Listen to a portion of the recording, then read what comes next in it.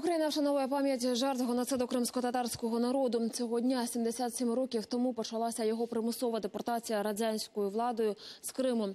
Так, за даними істориків, протягом наступного 45-го року 30 тисяч кримських татар загинули від голоду, хвороб та виснаження. У своїй промові Володимир Зеленський згадав і окупацію Криму, через яку корінні жителі півострова знову змушені залишати свої домівки. Сьогодні Україна вшановує всіх жертв геноциду кримсько-татарського народу. Сьогодні кожен з нас розділяє разом з вами цей біль.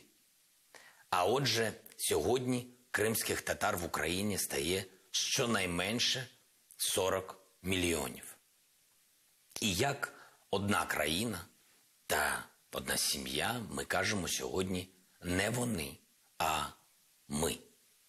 Ми не забудемо, як нас вигнали з власного дому і везли кілька тижнів за тисячі кілометрів від нього.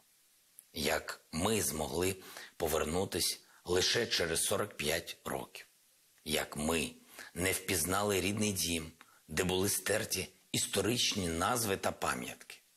І найголовніше, ми не пробачимо, що 70 років по тому ми були змушені знову покинути свій дім через російську анексію.